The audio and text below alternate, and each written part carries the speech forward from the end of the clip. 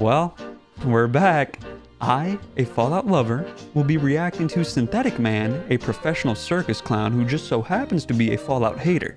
He made another video, this time covering every single episode, so presumably there will be less misinformation, less incorrect assumptions, and less brain dead takes in this one, right?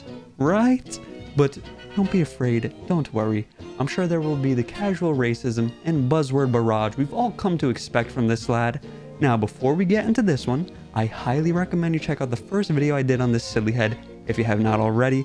It really helps set the scene so you know exactly what kind of character we're dealing with here. Now, with all of that said, let the brain rotting commence. As promised, I'm back to review the rest of Season 1 of the critically acclaimed Fallout TV show. And as promised as of yesterday, I'm back to review the Clown's review of the critically acclaimed Fallout TV show. I'm sure the question on some people's minds is, well, does it get better? Believe it or not, The question on my mind is did you get better? Do you make sense in this one? Let's see. kind of, a little bit. In the sense that you can turn your brain off, and if you don't care about the Fallout franchise, which is the case for most of the people who like this show, then you could just consume this mediocre slop and not really think much of it. This is about as superficial as an adaptation can possibly be. It has a bunch of visual references, and that's really all it takes to get normies on board with your show. You can absolutely take a massive dump on the lore, especially of the original games in New Vegas. That's fine because most Fallout fans, if you can even call them fans, have only played Fallout 4, and so they don't care about the universe, they don't care about the characters, they don't even care about the theme. They don't even know what the theme is. People think it's about capitalism. The games literally tell you in the intro cutscene and the epilogue war never changes. And yet somehow now it's about capitalism bad. All right, so he's still uh, on this argument. How do we tell him that the show is still about war, and how do we tell him that the games still painted Vault-Tec in a very bad picture? Unchecked capitalism often goes wrong. Vault-Tec is the perfect picture of that, and it was shown from Fallout 1 and Fallout 2. I think you like the top-down ones, this guy. So I don't know why he's acting like the show's all about capitalism bad. That's not what it's about. It's about war bad, rampant, unchecked capitalism in the form of Vault-Tec bad, just like the games. I don't get this argument, but this guy's arguments often are pretty out there. Let's continue. But I'm getting a little ahead of myself. As some of you may have noticed, my last video got absolutely brigaded more than maybe I've ever seen before by Redditors, Discord groomers, outrage merchants on Twitter. the list goes on. I'm sorry. I just I have to appreciate him taking the time to screen cap and, you know, thumb up the rebel flag comment. You got to You got to do it. on. That was probably the least organic my comment section has ever looked, ever. But if you've been watching this channel for a long time, you might be thinking, well, that's nothing too out of the ordinary. That's happened a bunch of times to this channel. Well, even reading these comments, I knew something fishy was going on. The first thing I noticed is that there were a lot of suspiciously similar comments copy pasted in the reply chains of all the top comments in my video. Right, and they hear. would only ever address the same few points, whether it's the show breaking the lore or Shady Sands falling and then the nuke happening after it fell. Well, that's because that was your biggest issue with the first video you made. You were very, very butthurt about the Shady Sands lore. So that makes sense that most of the comments would be about that. and we'll address that later in this video. But none of those comments addressed anything I actually said in the video itself. I think the only comments talking about the video itself were people triggered. What is he talking about? That's literally what he was speaking about in the video. He was butthurt over Shady Sands, among other things like such as race mixing, which I'm sure he'll touch on. About my comments regarding interracial couples, there you go. which is funny because I didn't even give my opinion on interracial couples. Okay, buddy. I just brought up statistics and pointed out how it's propaganda that they appear in all modern media. But I guess with Redditors being proud cuckolds, literally, they feel the need to defend. Oh man, this dude, he likes to project. That's something I've noticed. I've only watched two of his videos, the first one and now this one right here. And he was so upset in the first video he made on this about Maximus not being a big, strong black alpha male. He wants his black men in media to be big, strong chads.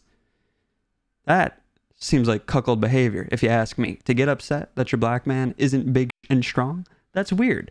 But he's gonna sit here and call the people arguing with him cuckolds. All right, buddy. Sounds like projection to me. You do you. Defend Tyrone's honor as he plows their wife every night. The funniest one to me is there would always be a comment claiming this show doesn't break the lore. Not explaining how it doesn't, just saying that it doesn't. You know, all the nitpicks aside, I would say the biggest retcon of all is Shady Sands teleporting 200 miles across California into the heart of LA. The You know, honestly, this one's pretty fair. I'm not going to argue with him on this. Please excuse the cops outside. Uh, he's correct.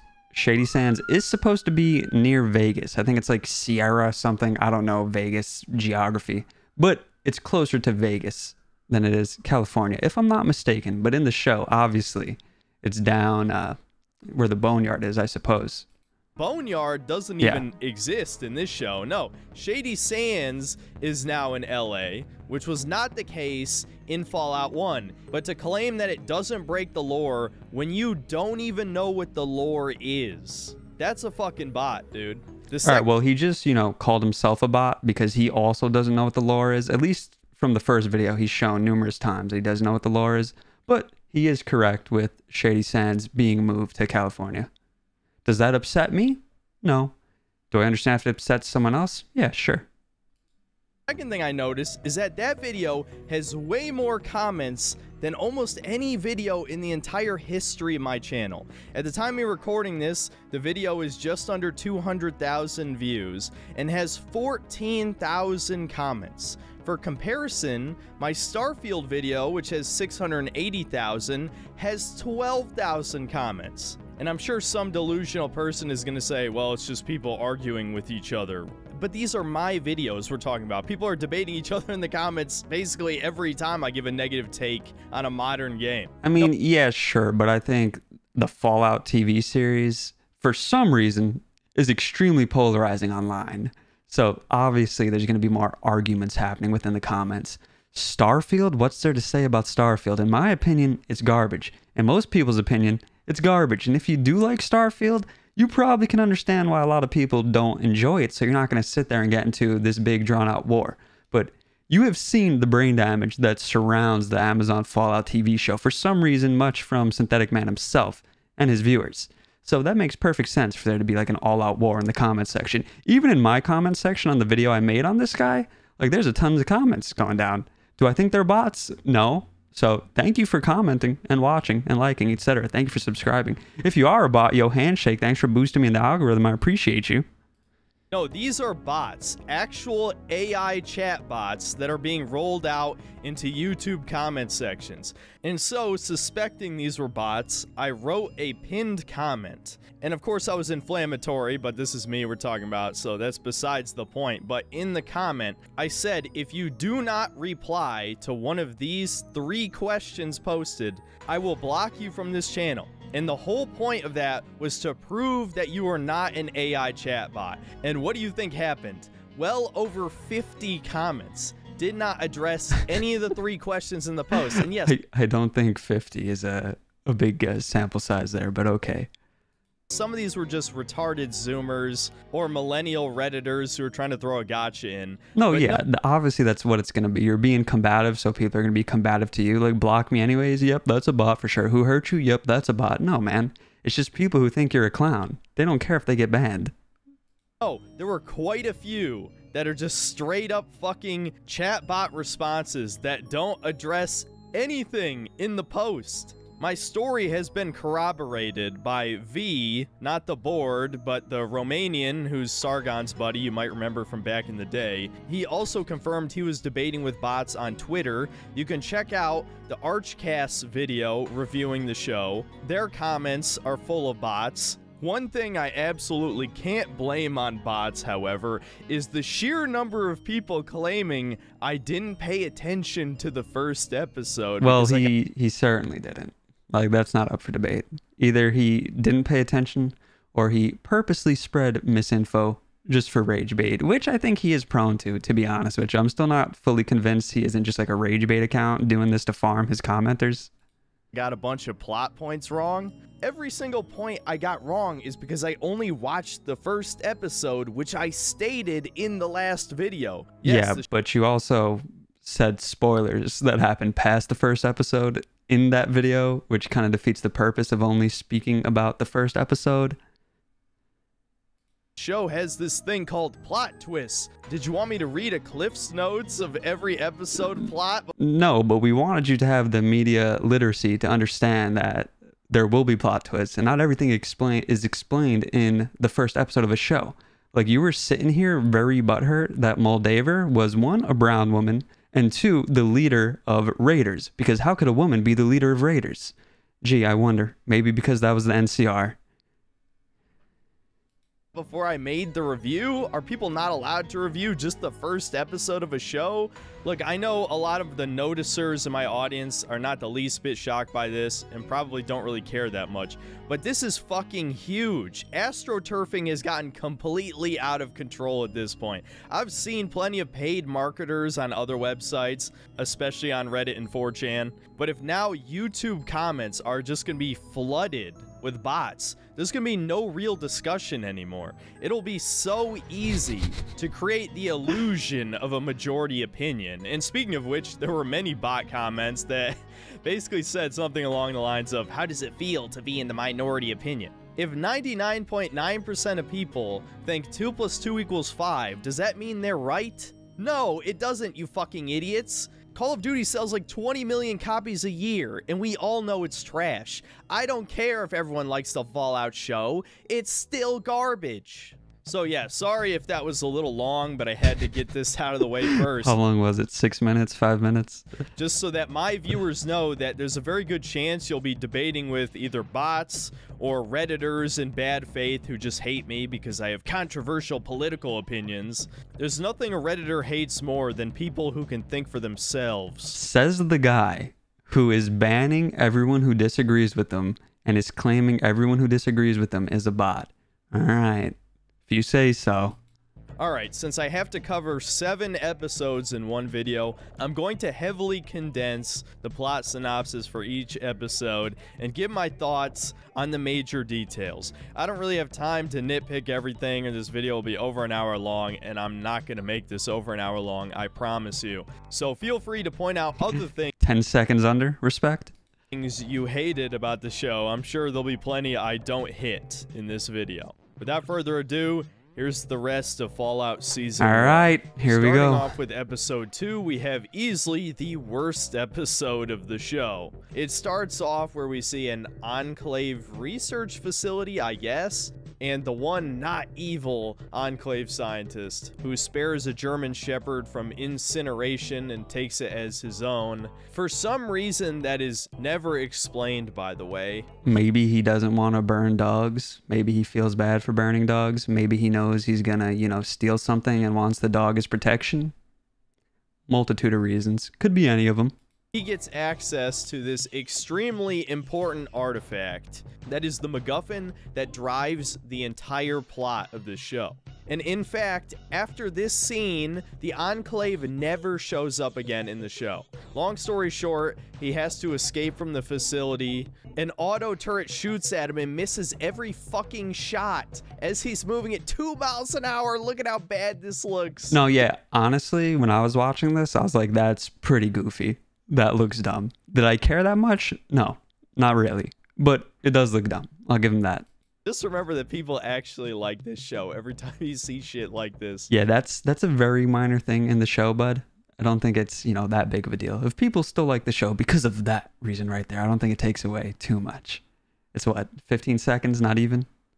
In the next scene, we see Lucy explore the desert wasteland of California. And the Enclave scientist finds her at night conveniently and tries to explain to her that the wasteland is an inhospitable nightmare where the creatures there have adapted to become more lethal and she needs to adapt in kind. This is one of many scenes where it shows Lucy is incredibly naive about the state of the world and she needs to become hardened to survive here.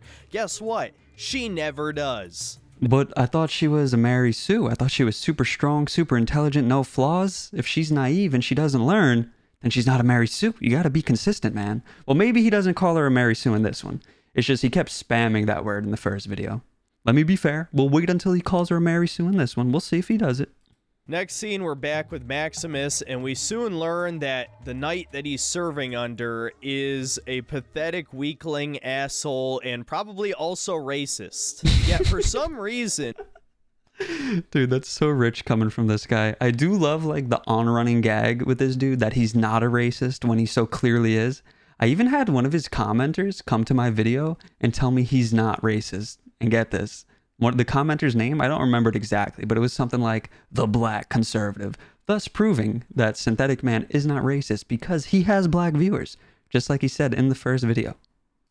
And the genius showrunners and Bethesda by extension thought it was a good idea to make the Brotherhood of Steel evil, arguably the most marketable part of the Fallout universe, they made incredibly unlikable in this show. On the one hand, it did subvert my expectations completely. On the other, it just feels like yet another way to shit on the Fallout universe. And before some people strawman me, I'm not saying the Brotherhood of Steel should be like Fallout 3, where they're all good guy knights. Okay, okay. I was gonna let him rock, but I think the lore master is mistaken once again, especially since he just said Fallout 3. For those who do not know, the Western Brotherhood of Steel and the Eastern Brotherhood of Steel are very different. In the show, it is the Western Brotherhood of Steel. Fallout 3 Brotherhood of Steel is obviously East Coast. The Western Brotherhood of Steel, they're isolationists. They don't like newcomers. You know, they stick to their own. They hoard technology. They're elitists. The East Coast Brotherhood of Steel are more of like the typical good guys you'd picture a big hero in shining armor. They're more charitable. They're more welcoming. They don't hoard technology. But the Western Brotherhood of Steel, they're not those knights in shining armor. They're not that nice. So I don't know what he's going on about right here or whatever, I'm completely fine with the Brotherhood being xenophobic isolationists who preserve yeah. technology. Yeah, I, I mean that's that's what the Western chapter is, dude. I thought you knew this, especially since you're a Fallout New Vegas elitist. You should have known that.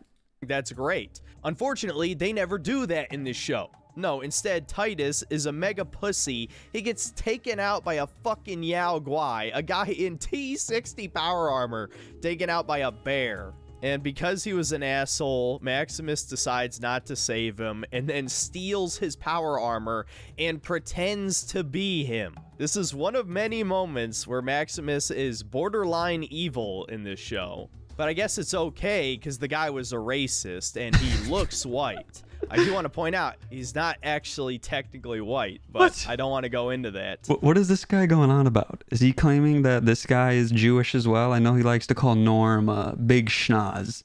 Is he implying this guy is Jewish because he has a strong nose bridge? I really can't tell with this guy.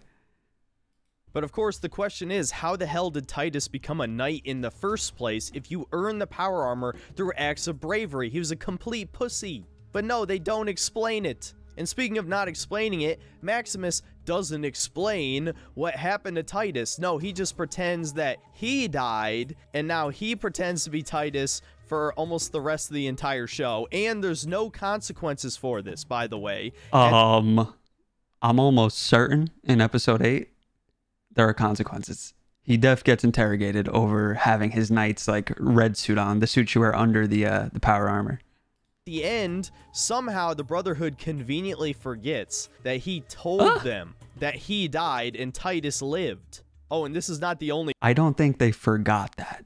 I think they know it was said. And then when he shows up with the head, they're like, okay. And then they check the head, they see it's fake. They bring him in the back, and he says, I swear I can show you the real head, I swear. And obviously, the Brotherhood cares about the head far more than they care about the weeknight Titus, like you just said. Come on, man plot hole in this show. In the next scene, we're back to Lucy, and we get a scene straight out of Borderlands where some idiot is living out in the middle of nowhere with no resources, somehow surviving, and he drinks all of Lucy's water. Haha, so funny. She should stop trusting people, but she keeps doing it. Eventually, she heads over to the town of Philly that's actually located in a forest. I gotta say, this is one of the few things I kind of liked about the show. There's a settlement that isn't out in the middle of a wasteland with no resources like Megaton. And yes, there absolutely would be forests. Not only has it been well over 200 years, which is more than enough time for the radiation to be gone, but also it's not like every inch of the country was hit with nukes. So this actually makes a lot of sense. I kind of like this. Now, something I really, really don't like is that Lucy comes across this shop called Ma's Rarities, and this old woman here explains to us that vault dwellers represent rich people and surface dwellers represent poor people. Again, this once again proves fans of the show haven't actually played the fucking games. Either that or they just conveniently ignore obvious propaganda right in their fucking face. No, Vault Dwellers represent a time capsule of the 50s retro future culture. That's why. Brother, could you think critically for one second? So, someone on the surface clearly wasn't alive back then. Unless, you know, they're like uh, Lucy's dad. I'm forgetting his name right now. Hank. Or anyone else that, you know, was cryogenically frozen, then brought back, or is a ghoul. They wouldn't know what they would assume is you paid for a spot in the vault and you had to be well off to get a spot in the vault, which is true for a lot of vaults. Now, some of the vaults, as you know, they had weird experiments going on. Now, I'm sure those ones you didn't have to pay to get in. Maybe you did, but it was probably just like a lottery. And if you put out a Vault-Tec lottery, people would love to sign up and, you know, apply and hopefully get accepted. But it makes perfect sense, and it is canon in Fallout lore that some vault spots were purchasable, and we can assume it was a hefty price tag. What are you talking about? You're making no sense. Now, like, view it from her perspective. A surface dweller, think what she's going to think about it. Oh, I'm out here suffering. I have no water. Everyone in the vault, they're so privileged. They were privileged 200 years ago and they're still thriving. Their legacy lives on. Their family's so happy down there because they had money. Like, use your brain. What are you talking about? Please just think critically for once why they're all so naive and friendly and neighborly, and they have to learn to survive in this inhospitable environment where everything's trying to kill you. Never at any point in any of the games is it implied that vault dwellers are rich people. The only vaults that maybe come close to that are the control vaults, and yes, it's. You need to pay for a spot in the vaults. In some vaults, this is canon. What are you talking about, man? Set up that Vault 33 is a control vault, but it's not in reality. And we'll it's get- not like the surface dweller is going to know all the lore about all the crazy experiments that go into on the vaults. They can't get into the vaults. What are you doing, dude? Please to that plot twist when it comes. The vast majority of vaults had horrific science experiments taken. Yeah, and like I just said, she would have no idea. And like I just said previously, those would probably be, you know, filled by people filling out applications, Vault-Tec lotteries, which I'm sure have a line down the block trying to get in, etc., etc. This is all easily explained if you A, play the games, or B, have the ability to think critically, which is funny because he insults others for apparently not being able to do so place in them. I wouldn't exactly call that a haven for the rich. So of course, the lady doesn't help her, but conveniently the Enclave scientist caught up with her, and he reveals that he knows all about Vault 33, and of course, it turns out that he's the guy that she's looking for to find a way to get to her father. Of course, the ghoul shows up, and we get half of a pretty cool action scene where we get to see Walton Goggins blow away a bunch of mercs. And actually, yeah, it's pretty cool. He's got some kind of shotgun firing, I guess armor piercing sabot rounds. And no, I'm not going to nitpick that. It's Fallout. Obviously, the guns aren't realistic, and Bethesda has proven time and time again they know nothing about guns. But it looks pretty cool, I'll say that. One thing that does kind of bother me about this scene is that for some reason, ghouls are now basically immortal zombies. If you don't shoot them in the head, they don't die. That is a pretty big retcon. Is... And don't try to tell me it isn't one because it's never been established that you have to shoot them in the head. Even if you don't think gameplay is canon, which I think is just absurd, but we're not going to get into that. This is clearly a retcon. I'll Is that true in the show? Did, did they say that, or is he just saying it's implied that you need to shoot a ghoul in the head? Because I did not come to that understanding on my own, and I don't remember hearing that in the show. I just think that ghouls are hard to kill. And in the game, ghouls are hard to kill. If you shoot off their arm, they keep coming. You shoot off their leg, they like cower in fear. In some instances, if you shoot off their head, they'll still keep fighting. At least feral ghouls. So, I I'm not sure what he's going on about here. If they did say you can only kill a ghoul by headshot in the show, then yeah, I'd agree that's a retcon, but I don't personally remember that. I think it's just ghouls are adorable.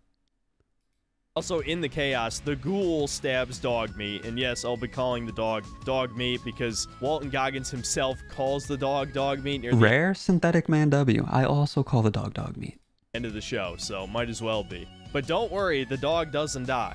Now, this is where the episode goes to shit again. Lucy gives this grand speech, which is pretty cringe, shoots the ghoul with a trank dart. We get an admittedly pretty good line. Yeah, I love this Well, line. now that is a very small drop in a very, very large bucket of drugs. And then Maximus shows up to save the day, and they fucking turned power armor into Iron Man armor. It looks so stupid.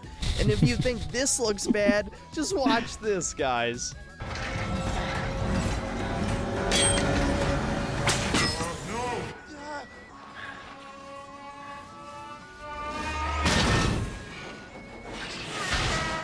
Come on, that's something straight out of a Bollywood film. Not to mention, Maximus is an idiot. Why doesn't he, He have is. a gun? He had a gun in a previous scene. It didn't break. So I've said this in previous videos. Pretty sure Maximus is an idiot savant. So that scene makes perfect sense. You know, he doesn't know how to use the armor. He just jumped in. He has no training. And like when we ignore that, also he, he kind of has a low int build. That's the vibes he puts off. In the midst of this really shitty Marvel movie fight, the old lady grinds this metal boot onto the Enclave dude's leg. This is gruesome. Which just feels like straight shock value because it doesn't even save him, by the way. And then the ghoul shows up in the room, gives Dogmeat a stim pack, and now all of a sudden they're buddies. And of course, he uses Dogmeat to track down the Enclave guy. The episode ends back in the middle of the desert again. The Enclave dude is starting to bleed out, and so he tells Lucy to chop off his head because the thing they need is in his head. Again, this is done purely for shock value and his idiocy. The thing in his neck does not need to be in his head to work. So they carry around a fucking rotting head for the entire season. I guess that's fair. He could have said it's in my neck, just, you know, cut my neck, find what you need, etc., etc. But maybe it needed to be preserved safely in case, you know, maybe it's fragile. I have no idea. Neither does Synthetic Man. He said he wasn't going to nitpick. That sounds like a nitpick to me, but I digress. Nobody thinks to dig the chip out of his neck. Dude, they turn Fallout into Borderlands. You're gonna see that more and more throughout this show. This is straight up fucking Borderlands cringe, unfunny garbage. And that's episode two. I give it a 3 out of 10. The only reason it isn't even lower than Does that he is because Does he have the nude mod on here? Is that why he keeps blurring the floor? Walton Goggins is pretty entertaining as the ghoul, and honestly, he only gets better from here. Everything else about this episode was awful. I feel like if you have any standards for television at all, you would have stopped watching this show after this episode. It was that bad. Now on to episode 3. It begins with a flashback before the war as we see more of the life of Cooper Howard before he became the ghoul. It turns out he was in fact an actor for westerns and his wife is an executive at Vault-Tec. It's good to see, even in the alternate future of the Fallout universe, we still have diversity hires in the highest position of power. Back in the present, we see that the ghoul has come across the corpse of the Enclave scientist, and we get yet another huge retcon. Ghouls now have to take a special serum to avoid going feral. In the original game, the reason why ghouls were hated or at least were outcast from society is because they were ticking time bombs. They could go feral at any moment. I can't remember if it's ever quite confirmed, but it's definitely suspected that extended exposure to radiation eventually rots their brain completely and they go feral. But no, now in the show, there's a special serum that they have to take periodically to avoid going feral. Yeah, this is fair. That's obviously not in any of the games. And when I was watching, I'm like, what is that? Like, is it is it just jet? Because like you know, an inhaler, and it also makes the jet noise like later on, but I don't think it's jet. Is it Radaway? Doesn't look like Radaway. Is it Rad-X? Doesn't look like Rad-X. So no drug really matches per se. It was probably just made up for the show. And if you are a hardcore lore master, I also understand getting upset at that. That's fair. I know there's going to be some idiot that's going to say that this is not a retcon, but there were plenty of ghouls that survived over 200 years. What is it that happened in the past 15 after New Vegas that ghouls now all of a sudden have to take a serum? No, this is a fucking retcon. After a pointless scene with Lucy, we're back to Maximus, and this is the scene I mentioned last episode where he lies to the Brotherhood, pretending to be Titus, and says that Maximus died. Again, there's no consequences for this. Again, he gets questioned. I, I don't know what this guy's going on about. He keeps saying consequences, so maybe he's mad that, I don't know, Maximus wasn't killed for betrayal, but Maximus was their only hope at finding the real head. So, I don't know why he's crying. It never comes up again. After it, it does. Brother, what do you mean? We'll see if he brings it up in episode 8. I assume he like made these right after watching everything, so a borderline pointless scene where he has to sell one of his teeth to afford repairing a part. A bunch of raiders tried to They're not really raiders, more like thugs. Raiders only show up twice in this show. Yes, really steal his power armor, and he gets his ass beat again because he lost his gun off screen. He does manage to beat up most of them, including crushing one of their heads with the power armor, and then the Brotherhood of Steel arrives, giving him a new squire. And of course, it's one of the guys who beat him up in the first scene he shows up. And so Maximus, being one of our main protagonists, a hero we can all look up to, nearly crushes his fucking head! Dude, I couldn't believe this. Is he supposed to be a villain? Man, you can tell these guys got beat up in high school and this is their revenge fantasy because Maximus continues the cycle of bullying, doing exactly what Titus did to him. When we get back to Lucy... Well, I mean, that's that's the whole theme, right? The bully bullied the bully, and then Thaddeus is sad that Maximus didn't get to bully a different bully, etc., etc. Well, not bully a bully, bully an innocent person, and then the innocent person becomes a bully. That's the cycle, and it, it gets explained later on. I'm now realizing I neglected to mention what she's actually doing. She's trying to deliver the head to the raider chick Moldaver, whose real identity is really stupid, but we'll get to that at the end. Anyway, she comes So first, it was stupid that Moldaver could be a leader of a pack of raiders because she's a silly brown woman. But now it's silly that she's the head of the NCR, or at least that branch.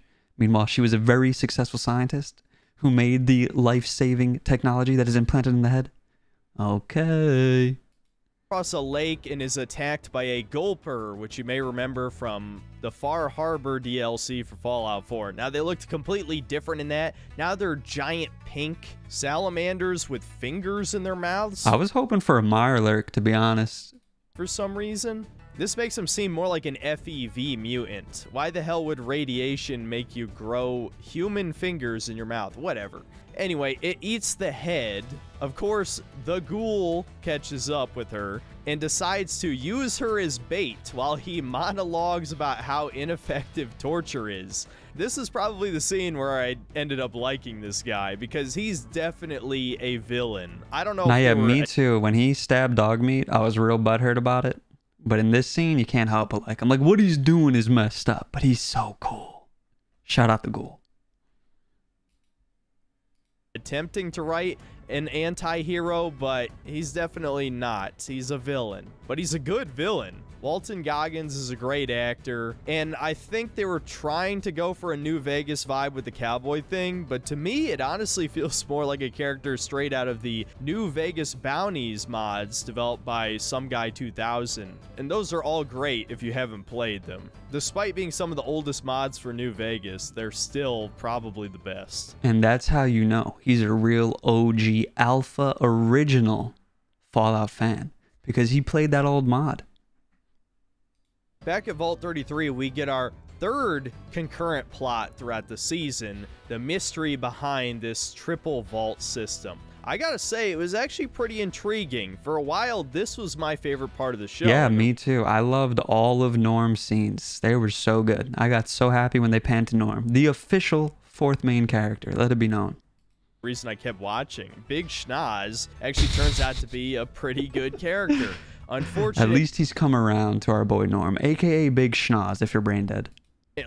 they really ruin it at the end. So I'm not going to cover it episode by episode. We'll talk about the whole side plot when it wraps up at the end. Okay, I After guess. After we get a scene dedicated to Maximus just abusing his bully, we get another subtle retcon. The bully implies that the Brotherhood of Steel is going to wipe out ghouls from existence. Did the writers confuse the Brotherhood with the Enclave? Killing ghouls has never been an objective of the Brotherhood. Where the hell did this come from? And don't even tell me he pulled this out his ass just because he's supposed to be a racist.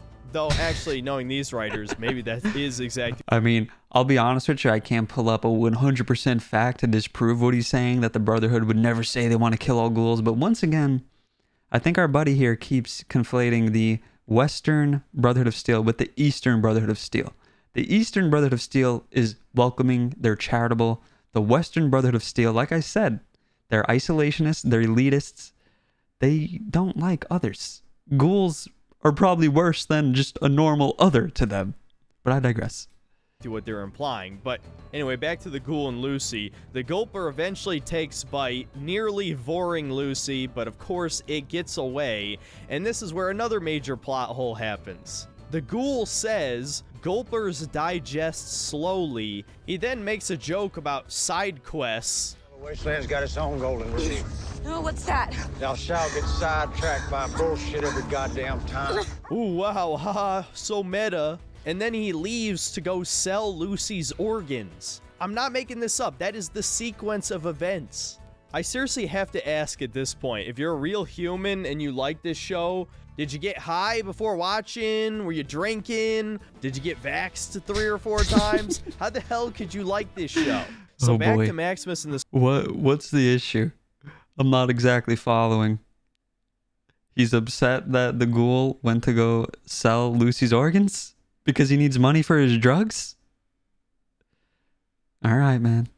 Squire, we get an incredibly awkward scene where Maximus gets the Squire to explain why he bullied him. But obviously, since he's still pretending to be Titus, he does it by trying to get him to say something horrible about him, and this somehow leads him to explaining that the only reason he bullied Maximus is because he himself was bullied until he showed up, and so he just redirected the bullying to Maximus. And so it's And now Maximus was redirecting the bullying onto him. Perfect circle. But now, you know, Maximus feels bad. supposed to be this big like oh see this guy's not so bad and so then maximus starts treating him better unfortunately this goes in a really stupid direction later but i actually kind of like this scene it felt much more mature than the rest of the show but it was handled somewhat poorly Oh, and I know I said I wasn't going to bring up the Vault 33 subplot, but I do want to point out that a black guy who I guess is an engineer says that the water chip He wasn't going to bring it up, but he just had to point out that they showed another black person. is broken and they never bring it up again. So that was just a completely pointless reference to Fallout 1. Which is funny because if you've played Fallout 1, you know that this show completely shits all over the story. I think it was also meant to show that people from Vault 33 are not fit to be overseer because they're just talking to that guy like in the open about a very serious issue. with all of the retcons. You want me to name another big one? The Master, the villain of the original game who was turning people into super mutants, was finding those people from vaults. And his headquarters was located near the boneyard. It would have been in spitting distance of Vault 33. You're telling me that he never found this vault that was out in the open he never managed to get inside and mutate all those people into super mutants. Speaking of super mutants, there are none in this show. The West Coast canonically. Yeah, I, I did want to see a super mutant. I was a little sad. Maybe we'll see one in uh, season two. Also, a Deathclaw. I thought a Deathclaw was in the cave, but it was just a Yao Guai. I think that's what they were like, supposed to be hinting at, but we shall see. I am praying for a Deathclaw in season two has intelligent super mutants unless they all got killed by the Brotherhood of the Enclave or something. But no, they are never mentioned in this show. One of the most iconic things in the Fallout franchise isn't in the Fallout TV show. I could see the West Coast Brotherhood, you know, trying to eradicate super mutants for sure. Yo, Okay, enough tangents. Let's wrap up this episode. Eventually, Maximus catches up to the head. He saves his squire from being devoured alive, yanks out its guts, and now they have the head. And for the final scene, it cuts back to the ghoul and Lucy, and to just spit in my face in particular, and all the shills who fucking lied in my first review. The ghoul drinks water directly in front of Lucy. And you know what's funny? In a later episode, he eats food too. Uh-huh. Ghouls need water to survive. This has been established multiple times in the series, and it's now established in the show. And yet he was buried underground for years with no water or food. Ex- well, when you're in, hold on, let me hear what he's gonna say. Explain it, Shills. Okay, Ex- okay, okay. I, I will. I will explain. Don't shoot. So, he was upset in episode one about there being like IV bags in the grave. He's like, do people come out and switch it every now and then? Like maybe because he's like, you know, a highly coveted bounty hunter. Maybe they keep him under there until they need to bring him out for a job. But when you're in a coma, you're not eating food, dude. You have an IV. He had an IV. That will count as sustenance for him. And, you know, just because you have the ability to eat or drink water does not mean you need to do those things when you're out on the surface. You know what you do do when you're out on the surface as a ghoul and you were just in a fight? You would go get some radiation. Because what does radiation do to ghouls, Mr. Lore Master? It heals them. And his water was irradiated, as you can tell when he gives some to Lucy after. He tells her to drink out of there, like whatever that little trough was, and she's like, oh God, it's radiated. And also, he fills up his canteen with more irradiated water, and he drinks it because radiation heals ghouls. Hope that helped. Head pat, little man. Playing it. And for the final scene of the episode, we're back in the past again, and we see that Cooper inspired the Vault Boy. Yes, even though the Vault Boy has blonde hair, no, it was Walton Goggins' character throwing up. Brother, I thought you said you weren't gonna nitpick. Yeah, man, a superstar Hollywood actor of the heyday would be the poster boy for the Vault Boy, the blueprint. Yes, of course that makes sense. What's wrong with you? Did you want them to make the Vault Boy a balding dude? That wouldn't fly with all due respect, most likely. So they just took the pose. Come on, man.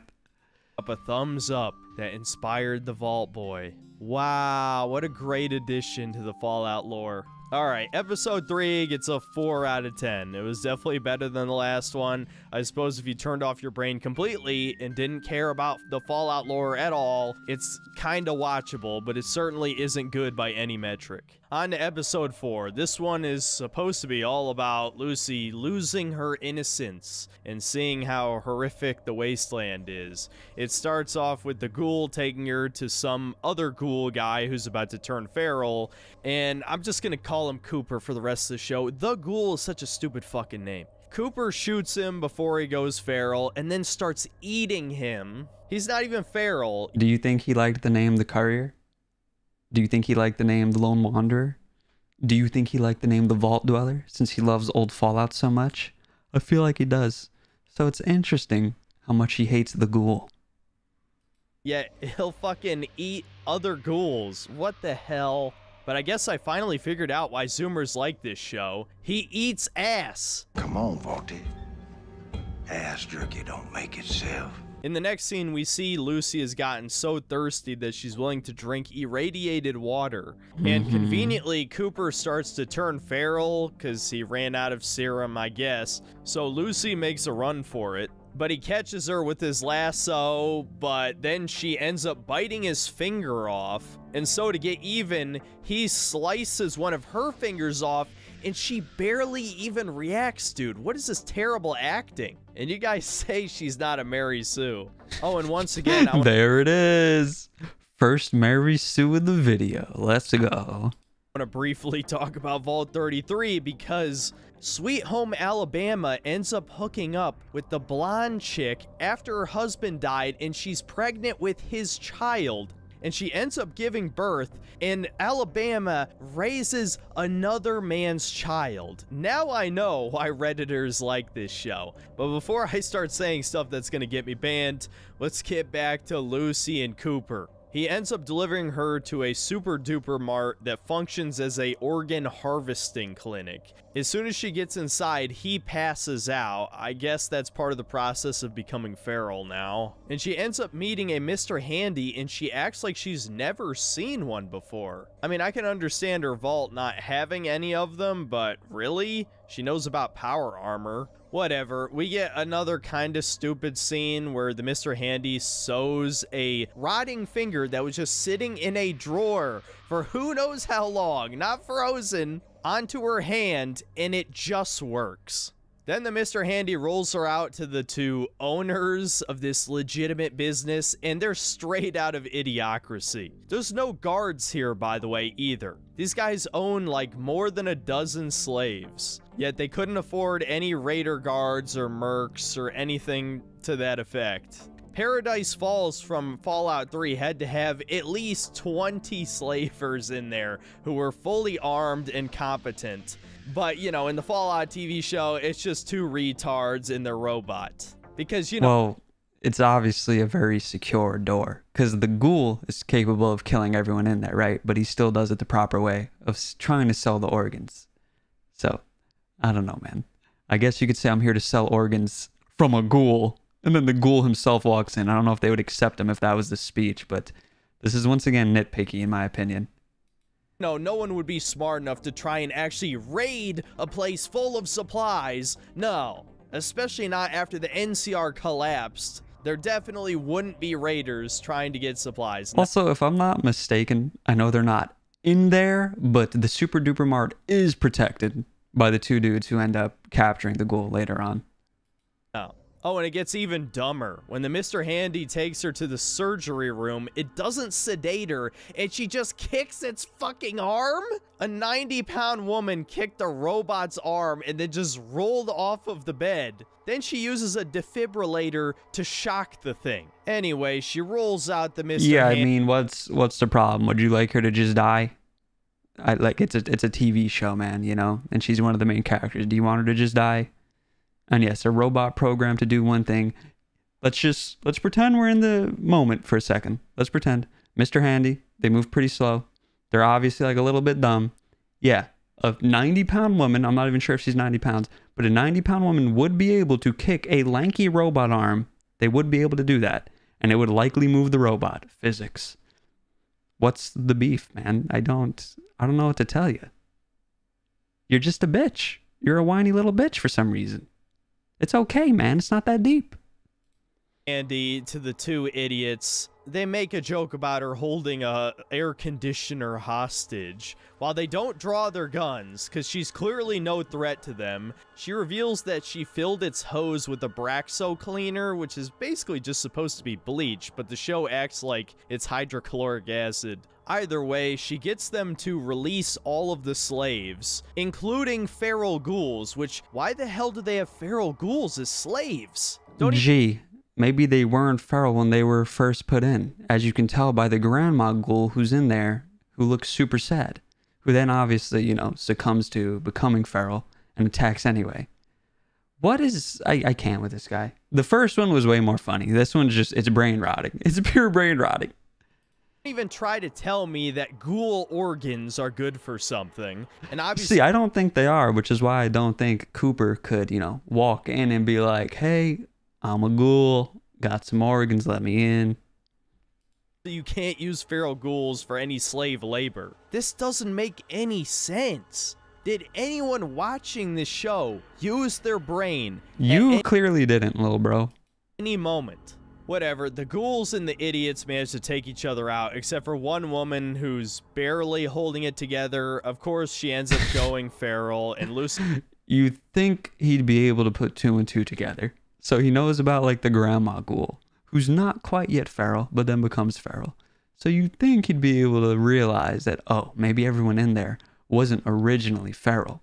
Maybe they got locked in and they became feral over time. He has to pick up the 10 millimeter pistol from Fallout. Make sure to get your replica in the Bethesda store. You know what's funny? There was a bot that actually tried to say this show was made with love because they made a replica 10 millimeter pistol from Fallout 4. This isn't even the original design for the 10 millimeter pistol. No, this is the Fallout 4 redesign. In fact, all of the iconic Fallout weapons are the Fallout 4 designs. And look, I realize this is Gee, I wonder why completely subjective and up to personal taste, but I just think the Fallout 4 gun designs are ugly. So as we just saw Lucy, who I think there's a lot to hate about Fallout 4, mainly the dialogue options. And for me, the building, all that stuff, I wasn't into it. I don't like power armor, I don't like building, and I didn't like the dialogue options, but I did like Fallout 4 overall. Totally. But the weapon design, they were fine. They looked good. Not a Mary Sue girl boss. Single Mary Sue number two handedly took out this organ harvesting operation and then gives Cooper a vial of the ghoul serum to save him.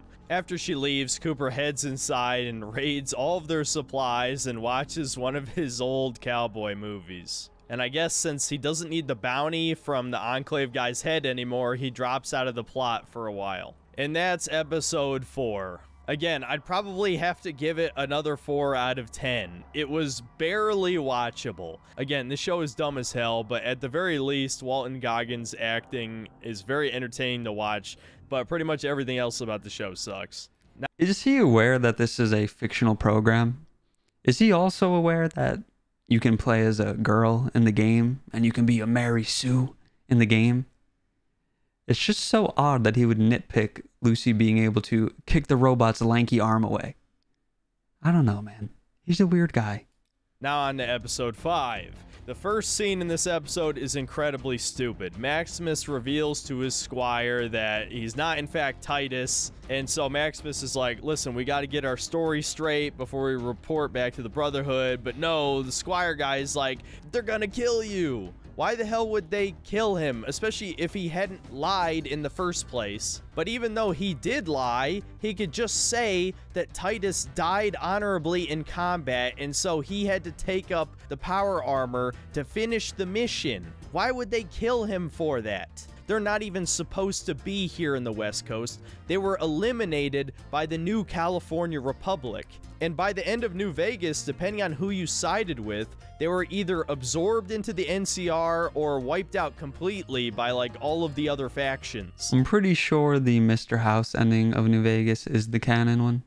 That's really something I should have mentioned in the first video, but my point is, it doesn't really make any sense to bring them back just to make them look this bad. Anyway, Maxis being clearly an evil psycho stomps on the squire's foot, crushing it, and it looks horribly mangled when they show it later. But he manages to get behind him and removes the fusion core from the power armor, which of course the showrunner's doing zero research think that you get locked inside the armor when it runs out of power. Can you imagine in Fallout 4 if when you ran out of fusion cores, you just got soft locked? And don't. Well, I think there. Well, let's see what he's gonna say. He said, "Don't." Tell me that's just a gameplay mechanic. That makes no fucking sense. All right, so yeah, I obviously can't confirm or deny that when you run out of battery in a power armor, it just locks yourself in. Like GG's, you're screwed. But in the fashion that Thaddeus took out the fusion core with a special little key there, put it in, and then pulled out the fusion core, that might lock the suit. That makes sense to me personally. The fact that the Brotherhood always have a squire with them would make sense, you know, help them out of the suit every now and then. Also, if the battery just drains, like the fusion core is running out, clearly there's an indicator. You know, clearly they would know to get out of this suit before it's all doom and gloom. But I can see where he's coming from. I guess I can respect that argument but I don't think it's that big of a deal. And I think it is important to note that the fusion core didn't just run out, it was forcefully pulled out. I think that's important. Even in the dystopian world of Fallout, you don't think someone would have brought up at some point that you get locked inside power armor if it runs out of power? Well, Yeah. it didn't run out of power. The fusion core was taken out entirely. again, more bad writing and retcons, but no, the show never breaks the canon. The show never breaks the canon. I'm not an AI chatbot, I swear. Anyway, the next morning, a bunch of rad roaches try to devour him alive, but Lucy just so happens to find him. Guys, how big is this wasteland? supposed to be three blocks? And yes, I know Lucy has a tracker on the head, but the squire already left hours ago. What are the chances she would pass down the exact same path where the head was the previous night? Whatever, I guess I'm nitpicking again. So He is. I'm glad he's self aware. After a really long, pointless conversation, Lucy decides to trust him. Well, he, he's not actually self aware, but he was self aware in that moment. Maximus is like the one guy she should trust because he literally saved her life.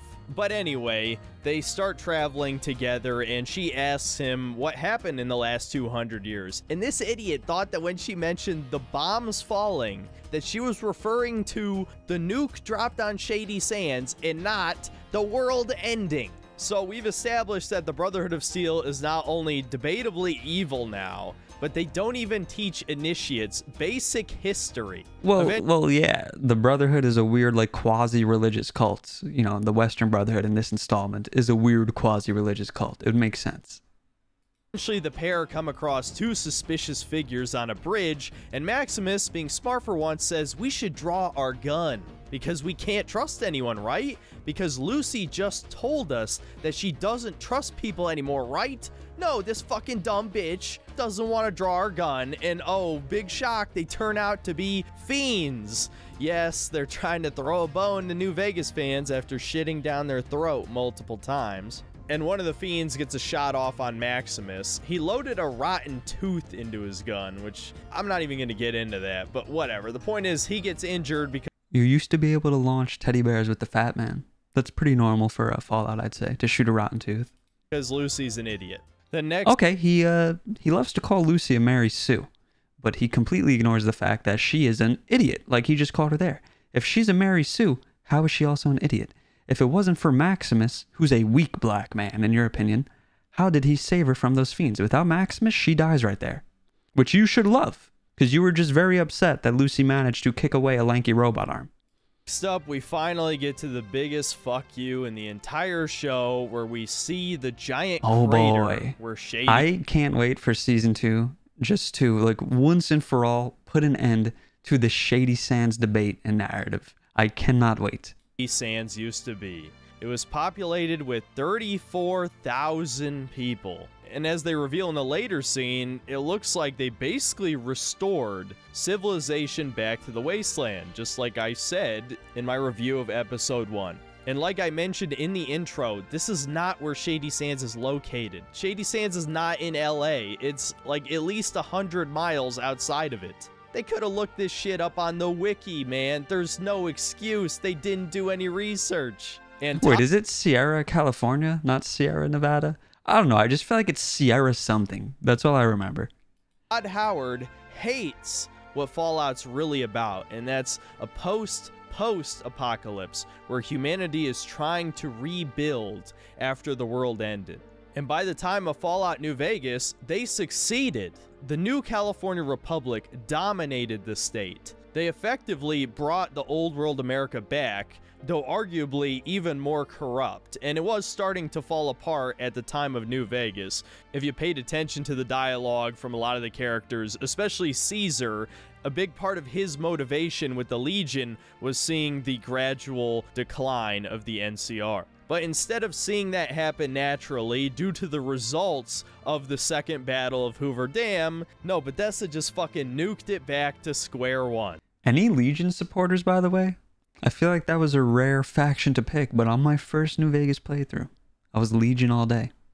Somehow, just destroying the capital city wiped out an entire empire across the state. Why did Bethesda do this? Well, a lot of people speculate it's because of the long running rumor that they hate Fallout New Vegas because they didn't make it, Obsidian did. And a Honestly, I'll like moderately co-sign this. I do think Bethesda is a little bit butthurt that Obsidian made the best 3D Fallout.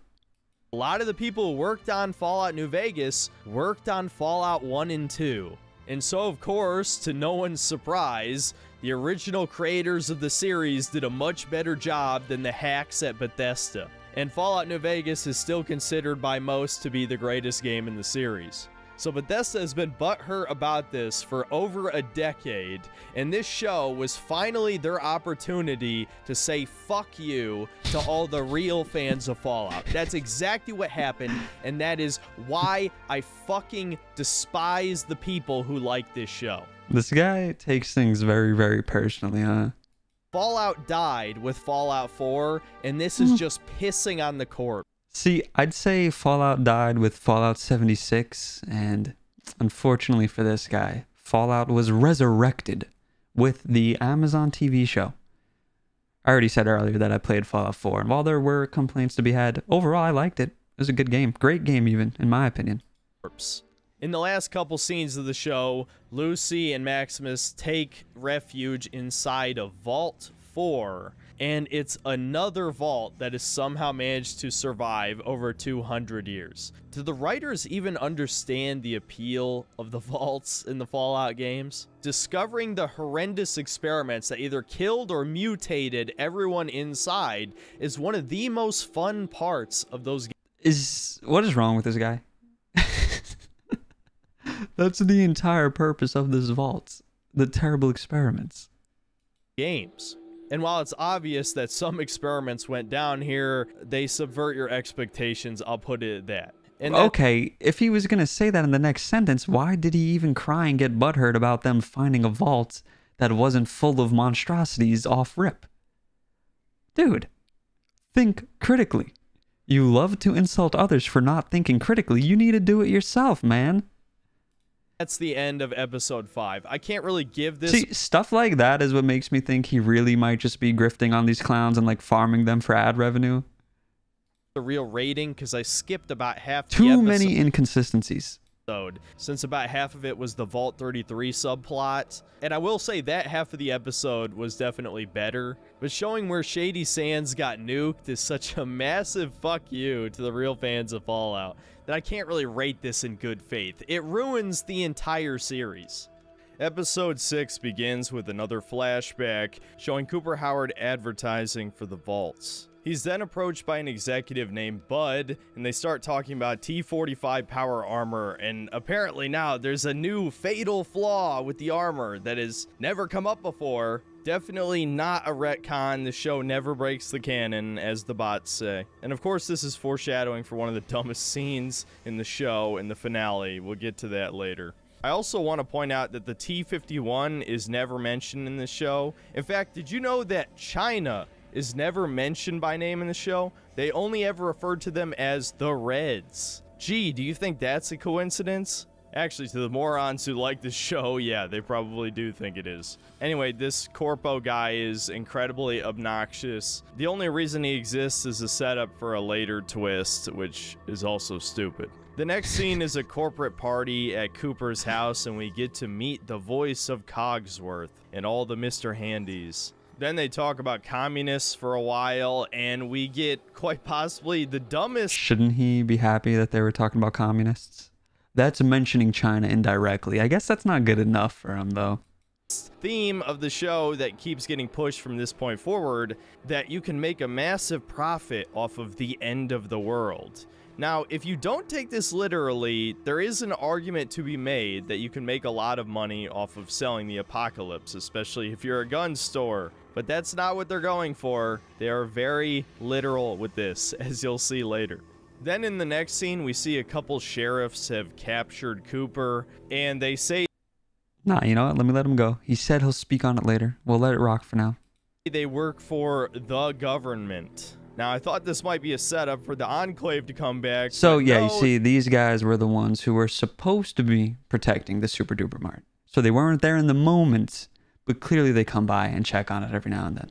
This is a complete nothing burger, as you'll see later in this episode. And now we're back to Lucy and Maximus again in Vault 4. I'm going to very briefly sum up everything that happens in this vault because it's complete filler. You could cut this entire part of the show out and lose nothing of value. All right, so your complaint was that the whole purpose of the vaults when you find them in game is to see the insane crazy experiments and how sick and twisted it is and when it's in the show you're now calling it just filler lore garbage that you're going to gloss over all right i guess but first i have to show you quite possibly the worst dialogue i've ever seen in a tv show oh no sex? yo hear me out fair this was uncomfortable af which I think was the point, but I didn't enjoy watching it. You mean use my cock? it's, it's just such a terrible line. Yeah. I don't know. Uh, that weird thing could happen. What weird thing? Well, it's just for some guys, not me. Uh, but for some guys, you know, when they make it move. It gets all big and hard like a big pimple and then it pops. And they say it could happen to anybody, but it's still, it's, it's gross. The Brotherhood of Steel doesn't teach kids about sex. this is what I'm saying. They're obviously supposed to be evangelical Christians. Yeah, man. They're they're a weird quasi-religious cult. They teach him about sex. They just teach him it's bad. We're probably also racist. This is so fucking transparent. But Bethesda is so stupid that they let this go through. Okay, anyway, as for the Vault 4 plot, long story short, we get to see the infamous chalkboard that explains what happened to the NCR. Shady Sands mysteriously fell, quote unquote, in 2277, and this has been confirmed by Todd Howard himself that this is not the nuke being showed in the chalkboard. No, of course, the nuke dropped at an unknown date that's not written on the chalkboard. And this is totally intentional because, you know, every other point on the chalkboard has a year next to it, but not the nuke, right? No one knows when the nuke dropped because the show has to be canon, which means that it couldn't have dropped in 2277 because obviously every goddamn NCR soldier in New Vegas in 2281 would have fucking mentioned their capital getting nuked. So no, mysteriously, sometime in the 2280s,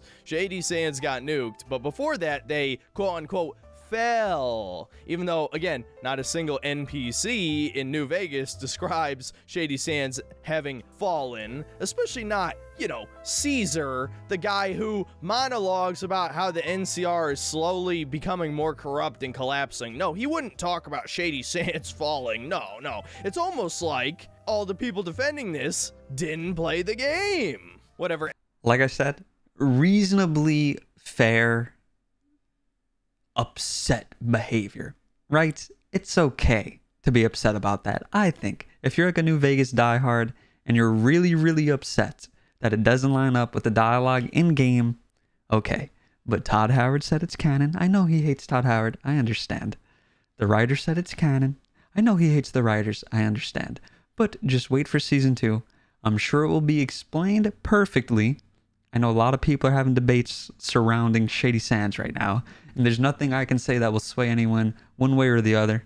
But as it is written in the stones right now, Shady Sands fell, and then afterwards, after the fall, it was nuked. Much like the fall of the Roman Empire, it wasn't boom, dead instantly.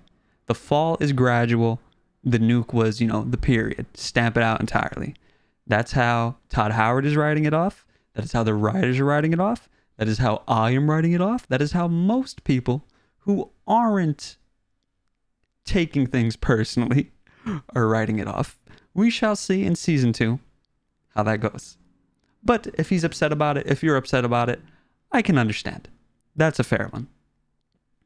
Anyway, I gotta move on. So, of course, the residents of this vault, at least some of them, are mutants. The Overseer has one eye. There's a guy with a nose on his forehead. Of course, nobody ever brings it up because they have to build the tension like they're gonna get captured and experimented on. Well, actually, no, they completely subvert your expectations. As it turns out, the original residents of the vault were mega evil Nazi scientists who did the weirdest experiments ever, including Which was a throwback to one of the flashback um, ghoul scenes or Cooper scenes. making a woman give birth to baby gulpers who then devour her alive. But eventually, the lab rats rose up and killed all the evil scientists, and now they just accept surface dwellers into their vault. And these surface dwellers have now become cultists for Moldaver. They worship her as some kind of god or some shit, and Same this is never followed up on, by the way. What, what do you mean it's never followed up on, man? They're surface dwellers. They were clearly from Shady Sands at one point or another, so they're going to worship her. What do you mean? It makes sense. Perfect sense. As it turns out, Moldaver is actually from the past, and they don't explain that either. And I know what you're gonna say. Yeah, I know you know what I'm going to say because it's the clear answer cryopods, but go ahead, pop off. Let's hear it. We'll get to that. But there's no reason why she would have been one of the people who was preserved. Money. Despite you thinking money doesn't buy you a spot in certain vaults, it does. Money. Also, she's a scientist. Who's to say Vault-Tec were the only people with safe cryopods?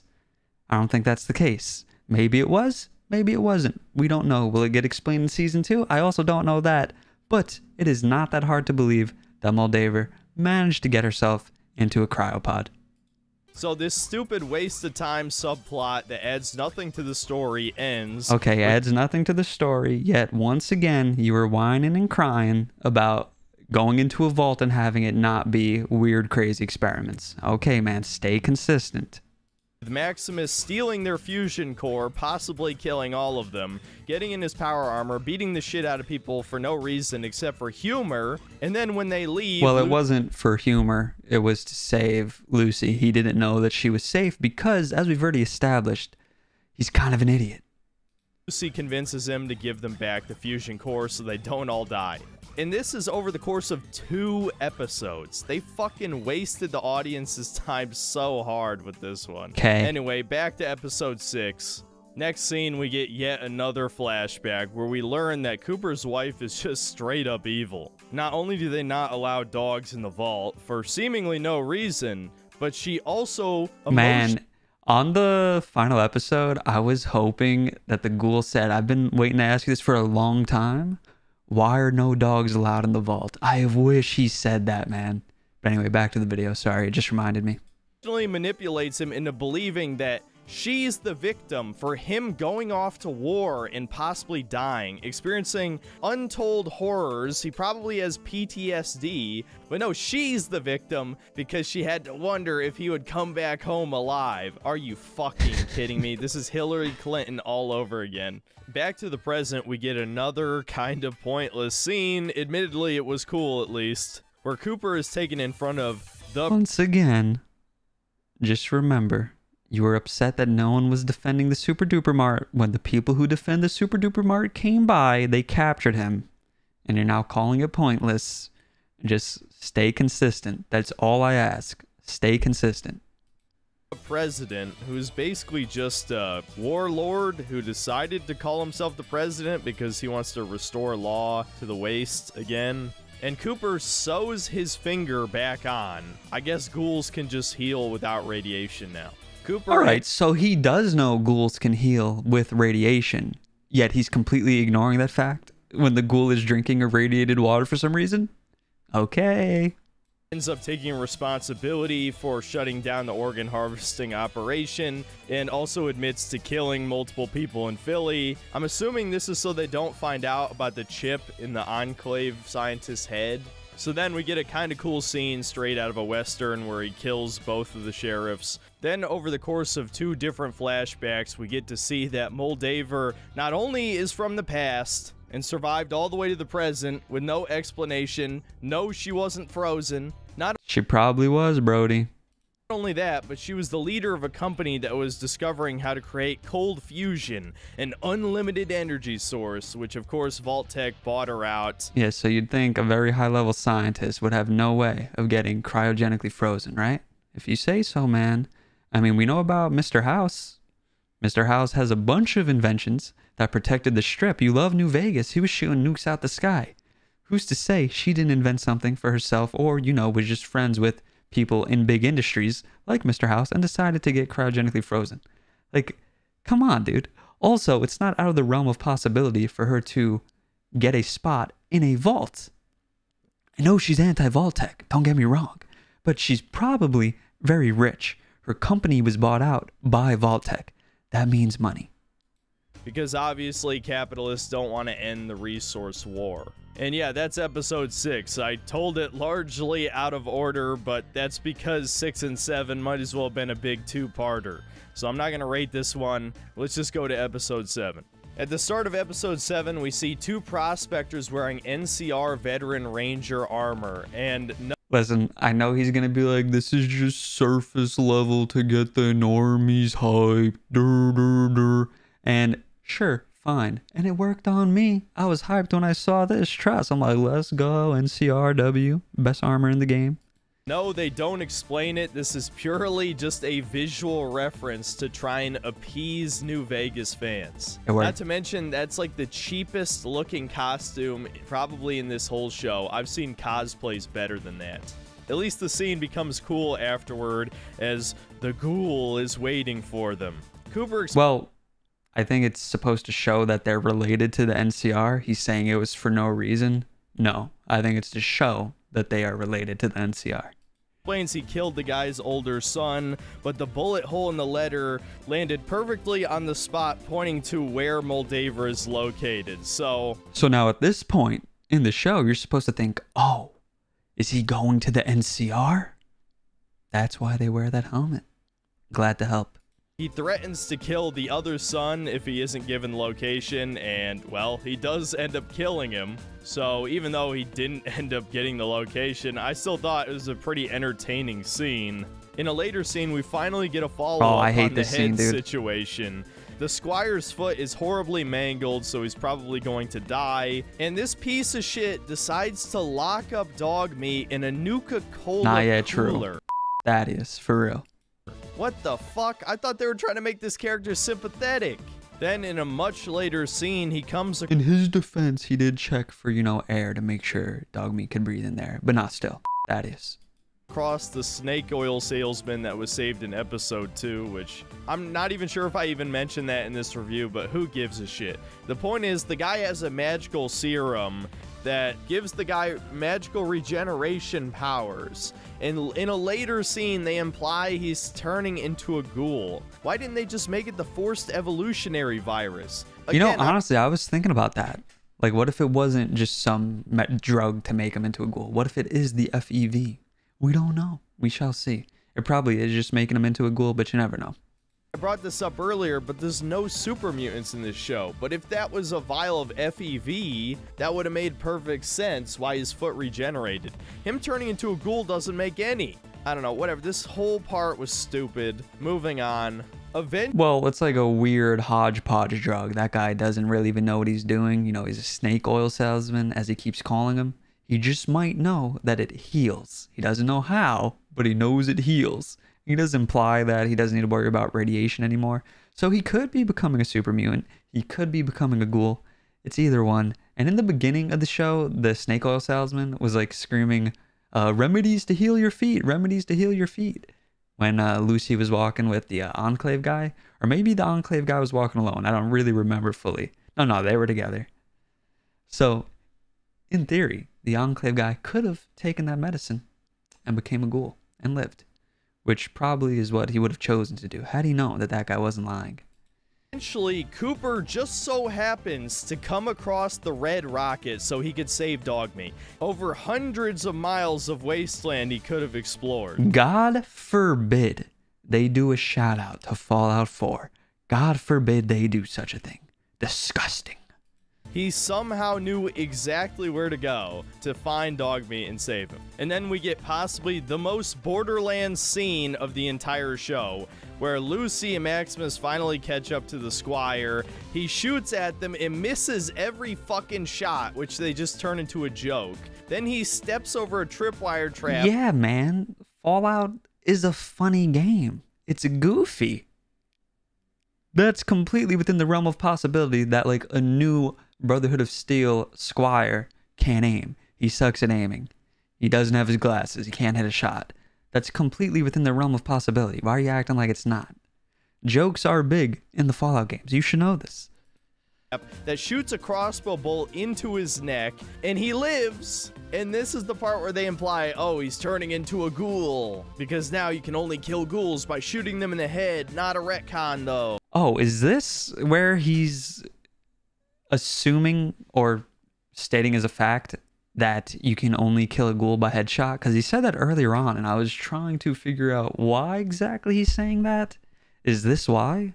Because Thaddeus gets shot in the neck and he doesn't die? Like, he very recently took the drug that heals him. So that makes perfect sense for him to not be killable right there. Like, whether he's a ghoul or whether he just has, you know, buffed heals due to the fact that he just took that medicine, that makes perfect sense to me. And if he is a ghoul and he got shot in the neck, once again, ghouls can fight when they don't have an arm, when they don't have a leg, and when they don't have a head in the games. So that makes perfect sense. Oh. And then the dude just hands over the head. Doesn't matter if Maximus tried to kill him multiple times. No, they're buddies now. And well, Max- no, Thaddeus hands him the head because he called the Brotherhood of Steel. Then Thaddeus learned, oh my god, I'm a ghoul. They're going to kill me. I got to get out of here. So he gives Maximus the head and runs away. That's why. Not because they're best buds. Like, what do you want Thaddeus to do? Self preservation. He's getting out of there. Maximus now decides he's going to betray the Brotherhood for seemingly no reason. And so he gives Lucy the real head and he takes a smashed up head back to them with no plan. And then we get the most unintentionally funny moment in the show. Our two heroes kiss. For- I can't even fucking say it. I can't even get it out, guys. I'm losing my fucking mind. This could be my new reaction image every time I see Guys, I wish I could figure out what he's getting at, but it's probably just something like weird and racist. propaganda. okay, okay, I've calmed down. And yeah, before I get banned, let's just wrap this up. Episode 7 actually ends with a scene in Vault 33, but like I said, we'll cover that whole subplot at the beginning of the next episode. Mhm. All right, I will rate episode 6 and 7 as a pair since they're pretty much linked in all their plots.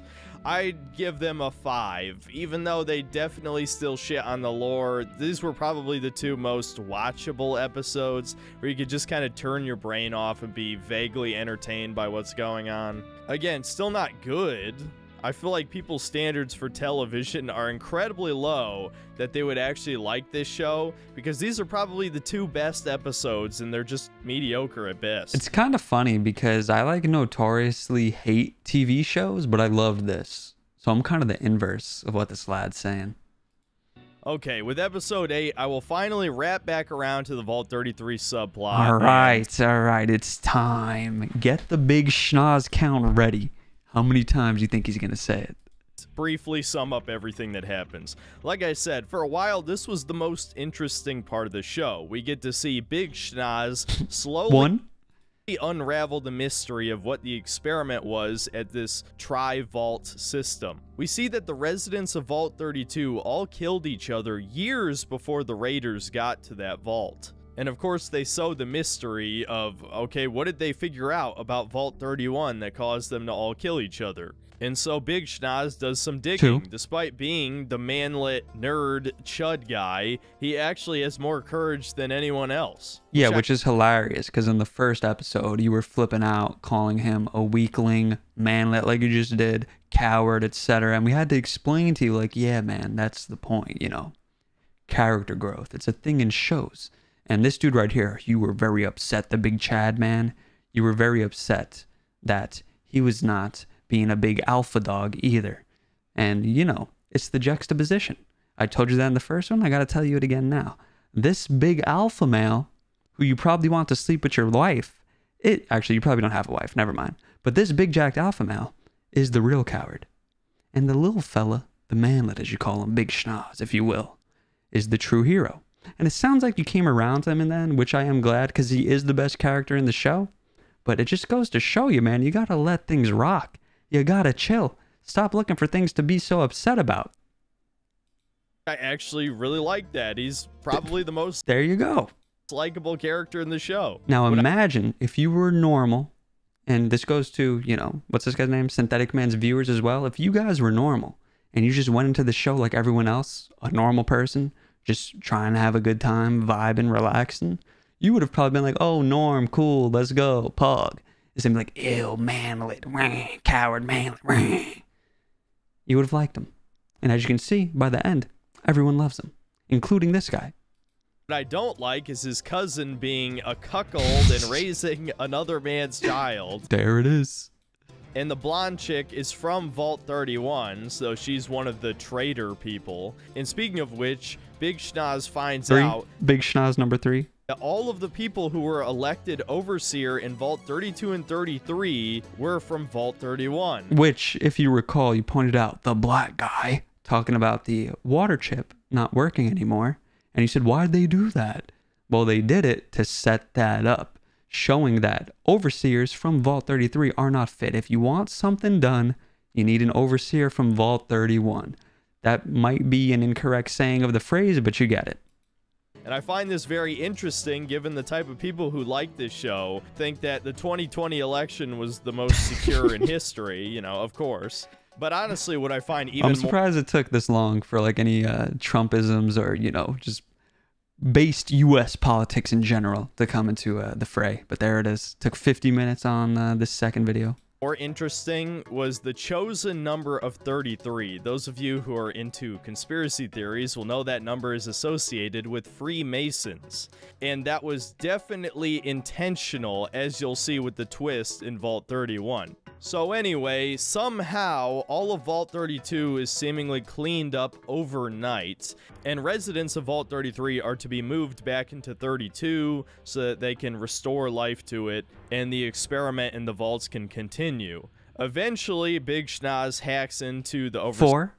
overseer's computer and tries to communicate with 31. Oh man, this was such a good scene. I I said this previously, but uh, Norm's scenes were like literally watching a Fallout playthrough, like a game playthrough, and a high int, small frame trait little fella just hacking his way through.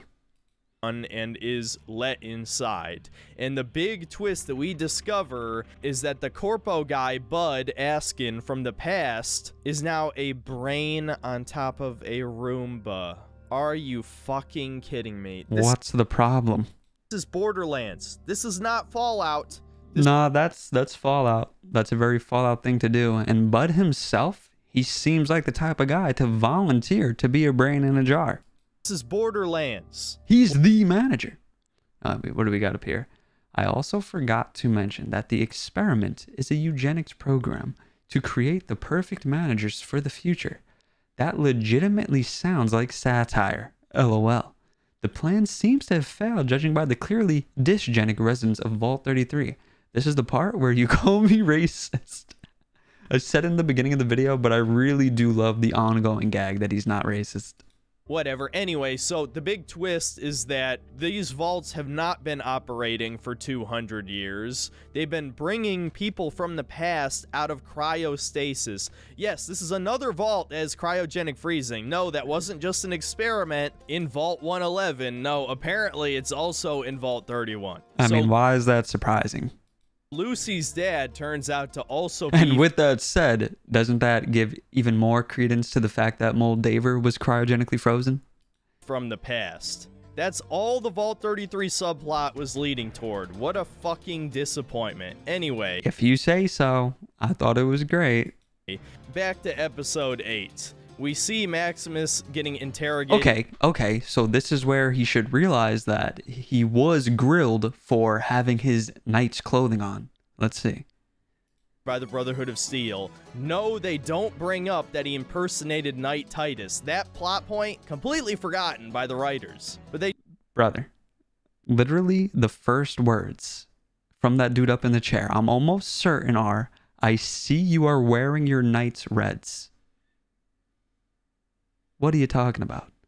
Unless he's like being super neurotic and harping on the fact that they're like, your knight said you died, but here you are. Why are you not bringing that up? I think that's a beyond neurotic take because that dude up there, I forget his name, maybe Quintus, Elder Quintus. After this scene, keep in mind the first thing he said is, I see you're wearing your knight's reds. After this scene, he's in the back And I'm going to paraphrase here because I don't remember the exact line, obviously. He says something to the effect of, This is not the first time a brother in your arms has fallen or has been in danger, has been harmed. Something of that nature. Of course, implying that uh, the other Brotherhood of Steel person was supposed to go, they put their foot in the boot and they got all cut up and, you know, he was blamed. So he's implying that he was behind that. And then once again, the elder is implying that he was behind the knight's death. They do discover it's the wrong head, obviously, and he's about to be executed, but then the she-man saves him by admitting that she placed the trap in her own boot. God, I hate this show. Anyway, so now we get to the big climax. Shouldn't he like the show? Shouldn't he like that the she-man was a coward and not manly enough to go fight? Shouldn't that be a net positive for this guy and his narrative? Where the Brotherhood of Steel flies over to Moldaver and her band of raiders slash ex-NCR members and the battle looks really fucking stupid. I know some of you are gonna think, oh, this is cool. Dude, there's a Brotherhood of Steel guy in power armor with no gun who just like slaps dudes and slams them into a table. It's fucking dumb, dude. And it only gets dumber because, of course, Cooper follows them all the way here and he makes a comment about a fatal flaw with T45 power armor and he wonders if T60 fixed the flaw. Of course, it didn't. So he just shoots them all in the weak spot and kills them instantly. This show's so dumb, it's unreal. This is basically a Marvel movie. No, actually, that's an insult to Marvel movies. This is a DC movie climax. So you guys seeing this scene right here? And he's very upset about it. If you recall, early on, he was like, I know some of you will say that gameplay isn't canon, and he disagrees with that. My reply to him is, if gameplay is canon, which I agree with him, I think it is, do you know what VATS is, young man? What if I told you the ghoul was most likely using VATS right there? At least that's the vibe. Obviously, it's not, but it kind of seems like a callback to VATS, you know? Lock on to every single enemy, shoot them all in that direct spot, that specific pinpoint target that you're aiming at, and you kill the whole room. And also, it makes complete sense that the T60 power armor would still have the same defect. And Cooper would know about the defect because he was in like actual war with actual non-stop like gunfire through and through. The Western Brotherhood of Steel has not been through a war like that, or at least not this uh, grouping of them, from what the show is saying and from what the, the games have been saying. So it makes perfect sense that that flaw would still be in there. If he wants to get upset and say that that's a retcon of some sort, okay, I guess. But remember, he just said gameplay is canon, right? Bear in mind, Fallout New Vegas, Fallout 3, you can just shoot someone in power armor in their leg repeatedly and they die. In the show, the power armor is like you're a giant walking tank, right? So you can't have it both ways. If you're upset that the power armor in the show is you're a giant Iron Man walking tank that can just, you know, pick up people with your bare hands and slam them through a table, which he just cried about, then you cannot be upset if there's a weak spot to actually shoot through it because in the games, you can just shoot through power armor. You don't need to hit them there, obviously. You can hit them anywhere and they die. So pick a side. Either you want them to be shot through the power armor or you don't. You can't have it both ways. But right now, you're sitting here picking both ways. Like I said, I can understand being mad that they retconned a little weak spot in the middle, but you need to stay consistent. What do you want to happen if someone's in power armor? They're just indestructible hulks? Nah, man. You can cry and say it's bad writing. I think it's great writing. Goes back, it's a callback to when he was in the army, when he was on the front lines. It makes perfect sense. He watched his brothers die on the line because of that defect, and he knew that they still would not fix it because money over safety.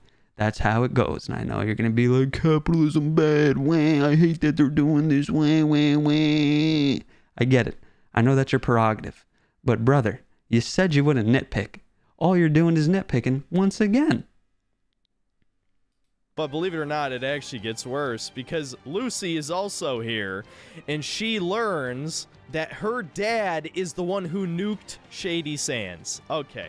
And they explain this with one final flashback where we get to see a meeting between all the executives of the mega corporations. They have their own Illuminati, essentially, right here. And of course, Cooper's wife represents Vault-Tec.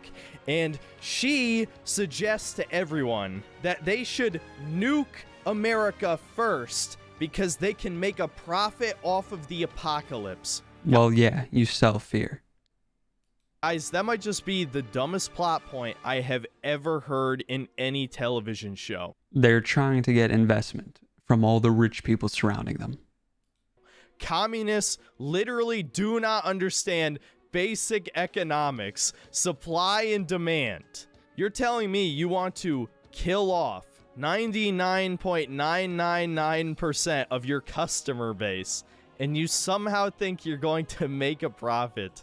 They've established Vault-Tec is a trillion dollar company in this show. They don't explain what they sell. We might as well just say they're Amazon. They sell fear. That's honestly a better headcanon than anything else you could explain. They also retcon Mr. House and make him to be an idiot. He says that he's not even sure the bombs will drop. When in New Vegas, it's established he knew it would happen. That's why he set up defenses I guess you could argue that the reason he knew the nukes would drop is because of this meeting. However, if he knew, wouldn't he have obtained the platinum chip in time pre war, completely retconning New Vegas? Maybe. Maybe not. There's no answer to this one. If you want to harp on it and cry and say it's a retcon or say he's now stupid, you can. I think it's a reach personally to shoot down nukes. That's why New Vegas is in such great condition compared to every other major city in the United States. Mm-hmm. So again, didn't do any basic fucking research. I mean, honestly, it makes sense that he would he would know they're dropping from this speech. And just for the record, this guy didn't say it, but it is not confirmed that Vault-Tec dropped the bombs. It is only implied that they are willing to drop the bombs. And it was said in order to get investment into Vault-Tec, you know, get Robco on board, everyone else on board. Is it going to come out that apparently they did drop the bombs? Maybe in season two. I don't know. But as of right now, we don't know. Was it China? Maybe. Was it Vault-Tec? Maybe. We don't know. My personal theory is that it wasn't Vault-Tec because if it was Vault-Tec, you'd think that Barb, which is Cooper's uh, wife, would have had the child with her when the bombs dropped, right? Unless something happened to Barb you know, before that. We don't know. But oh, it doesn't break canon though. It doesn't break canon though. And man, they make this black woman so cartoonishly evil. On top of wanting to genocide the human race, she straight up says to the other executives of these companies that you can have some vaults and run whatever experiments you want in them. And that's how they explain all the crazy shit that goes down in the vaults. Mm-hmm. Holy fuck. You can't defend this scene. It's too stupid. It doesn't work on any level. Okay. It doesn't pass basic logic. Okay. Anyway, back to the present, we learn what Moldaver's grand plan was. The Enclave scientists stole the formula, code, whatever, the thing that activates cold fusion, giving the wasteland unlimited energy. So yes, mm-hmm. she was a good guy all along. It also turns out she's a lesbian and was in love with Lucy's mom. And also she keeps That is never said. What is blood going on about? the only thing that is said is that they are friends, very good friends, and they are happy that humanity has been restored on the surface they're not lesbian lovers. Though if they are, that's pretty based. I'm kind of jealous of her mom, not gonna lie. Well, not in the ghoul state, but you know, I'm a Moldaver fan, respectfully. Keeps her around as a ghoul, dude. This bitch is a psycho. So like I said, that is pretty crazy though. Before Lucy's dad nuked Shady Sands because that would have been competition for Vault-Tec guys, I seriously can't take the show anymore. It was so painful. Well, I mean, Vault-Tec, they did all this because they wanted to be the ones to restore humanity. I don't think that's that far out of the realm of possibility when you realize how evil Vault-Tec is. Not just in the show, buddy. Even in the games, Vault-Tec's pretty evil. Watch it up until this point. So, whatever. Let's wrap this up really quick. So, Lucy's dad ends up escaping, gets the power armor. Moldaver is bleeding out. So our heroes decide to follow him out into the unknown. The Brotherhood of Steel obviously captures Cold Fusion, so now they have unlimited power on the West Coast. Nice plan, Moldaver. You really thought that one through, you fucking idiot bitch. And the show ends with Lucy's dad coming across Vegas, and it's dead. They killed Vegas too. I've seen some copium from people who weren't fucking paying attention, probably because they're bots, but you can clearly see the wall has been breached. The power is off. I guess after the events of New Vegas, the tunnelers overran everything and killed everybody, or maybe maybe the Legion blew up Hoover Dam. Yeah, I'm really interested to see what they do with New Vegas in season two. Like, is Mr. House just done? Like, what's up? I assume he's not because they clearly, you know, panned to him in the uh, throwback scene. I feel like he's going to be alive in season two. We'll see. Actually, I doubt the Legion will even get mentioned in season two because Actually, speaking of the Legion, this is like a weird fan theory that I read, but I figured I'd say it since we're here. Um, some people are saying that that West Coast Brotherhood kind of absorbed the Legion, and it would make sense when you look at all their names. Like, why are why are they all Latin? Thaddeus, Maximus, Quintus. You know, why are they all Latin? And in one of the scenes, there is a yellow and red Brotherhood of Steel flag. And if you don't know, the Legion's flag is yellow and red. Is that actually true? I don't know, man. Probably not, but it was interesting. So I thought I'd bring it up. too problematic. But yeah, they destroyed New Vegas as if they didn't shit down the fans' throats hard enough. So yeah, is there any point to having a real conclusion? I'm sure this video already dragged on way too long. you know exactly what I think of it. If this was non-canon, it would just be mediocre slop that doesn't even make sense on its own. There's multiple major plot holes, extreme conveniences, and just plain old bad dialogue, bad writing, pro communist propaganda that doesn't even make sense on a basic level. Some of the uh. most diverse casting I have ever seen, and I believe there's four interracial couples in this show as well. Not to mention, Lucy is arguably a Mary Sue, and there's plenty of women in positions of power. They made a black woman not only like the lead executive of Vault-Tec, but also a genocidal maniac. So, were leftists the real racists all along? That's certainly worse than anything I would ever write. But really, the worst thing of all is that it just craps all over the original games. And if that doesn't bother Just barely. bother you, then you're not a fan of Fallout. Period. The fact that there are a bunch of huge YouTubers shilling this show, including one guy famous for mentioning the message, yet The he never brings it up when talking about this show. I don't have to name him. You know exactly who it is. I need you guys to name him for me. I'm not familiar with who he's talking about. I didn't even know about Synthetic Man until the first video. I honestly thought the first Synthetic Man video I watched was like just gonna be like a normal critique. I had no idea he was like this neurotic and insane, but you know, here we are. Completely sold out, dude. A lot of the people you thought were based, red pilled, right wing, whatever. Uh, no, they're just Oh, man. Before I end this This dude's so tribal. I understand why he likes New Vegas though. You know, you get to pick a fact and you get to be tribal. It's fun to be tribal every now and then. He takes it to and like, too high of a level though, I think. video, I want to throw another shout out toward the Archcast and Cretosis for being very critical of this show. Another shout out to Shout out to the people who agree with me, everyone who disagrees about, you know the vibes. E for mentioning me in his video. And anybody else who proved that they have critical thinking skills and they're not being paid to shill a fucking Amazon show. Even if we don't I wish I was being paid, honestly.